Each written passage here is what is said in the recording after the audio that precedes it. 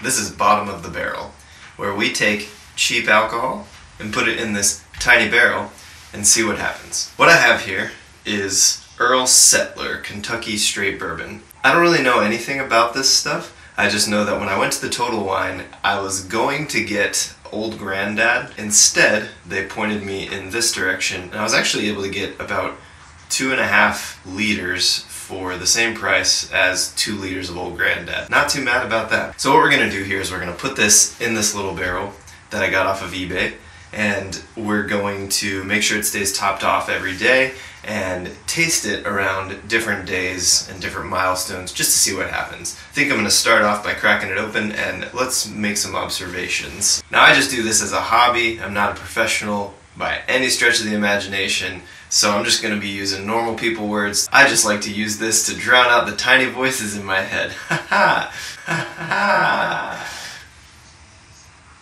So the smell, it's super sweet, and if I had to pin down two scents that it smells like, um, sugar, that's like a vanilla, I guess. There's a little bit of gasoline in there, and then it smells a little bit like apples. And now let's taste it. I don't know if you're supposed to like swish it around in your mouth and stuff like that. Um, I'm not gonna do that. That's what she said.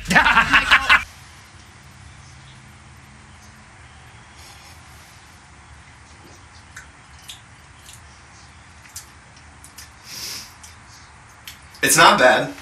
Um, it's very sweet again, and it creeps up your nose a little bit. It's like kind of fruity, so there's a little bit of an apple juice taste to it. Um, but like the processed stuff, not like raw organic. I don't taste gasoline in it. I know what you're thinking.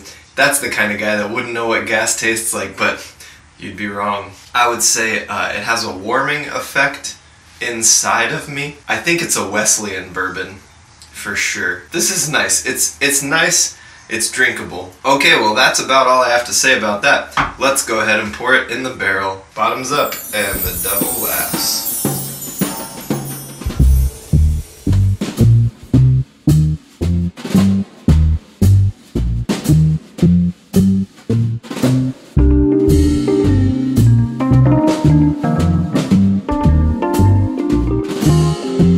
So there you have it, everyone. Now we just gotta wait. We'll be doing taste tests after um, probably like a week, two weeks, just to see if these tiny little barrels can make this bottom shelf alcohol any better. Thanks for watching. If you made it this far, Mom, uh, you're the best. Thanks for watching and listening to my painful uh, banter.